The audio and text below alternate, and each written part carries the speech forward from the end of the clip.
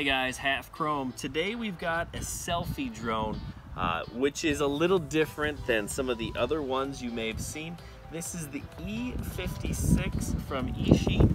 You can see right away that it was designed to look a lot like this guy, the DJI Spark.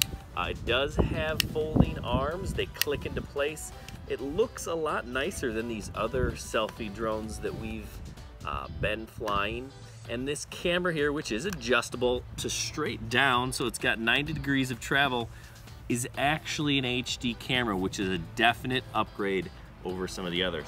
I like this nice little case that it comes in, and you can see that it even has a joystick that fits in there, but this joystick is a little bit different uh, than most of the other ones we deal with. You can see it only has one gimbal. So we'll get this thing in the air and we'll show you how it works. You can use automatic takeoff to get this guy in the air, and once it is, the E56 is pretty stable. It is because this uses altitude hold, which helps you maintain that level altitude while you're flying. You can fly this with either your smartphone or the included joystick.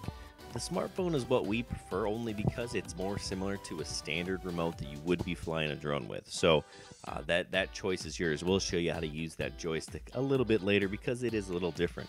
Now this E56 is not super fast. It wasn't built to be fast. It was built to be a portable selfie drone and it does an excellent job of that.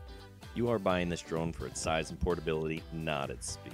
And it's excellent for uh, taking, taking it with you on the go. The single remote here is pretty unique. You use the uh, button there to control the throttle and the spin, and then you tilt it forward and back and left and right to control which way the drone moves. Definitely unique. Yes, you can do flips and rolls with the E56. If you're using the smartphone, it's not going to do it with the single remote. Let's take a look at some of the onboard FPV from the E56. Now, this 720p camera is actually a lot better than a lot of these inexpensive drones that you've seen. The Elfie, the E52, they don't hold a candle to this camera. It is HD quality. No, it's not perfect, no, but you can see that the image is pretty crisp, pretty clear. You're going to have to fly nice and slow. What's up, buddy? Uh, in order to uh, get a pretty solid picture, but it takes some practice and it can be done. There's no onboard storage on the E56, so the video that you take will, will store directly on your cell phone, which means you have to use the cell phone in order to get the video. You can't get the video with just the single remote. There are no buttons to do so.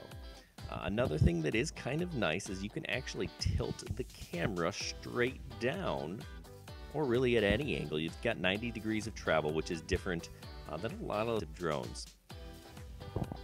You can also take pictures. I mean, after all, this is a selfie drone, so we took some selfies with the camera so you can see the quality. Thanks for watching. Don't forget to subscribe and check us out at halfchrome.com for more.